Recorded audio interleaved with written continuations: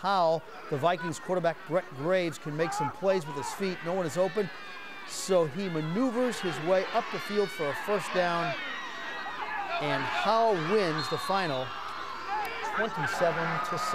Another Bruin Sports. All right, Frank, thanks. Well, the football game is not scheduled until tomorrow.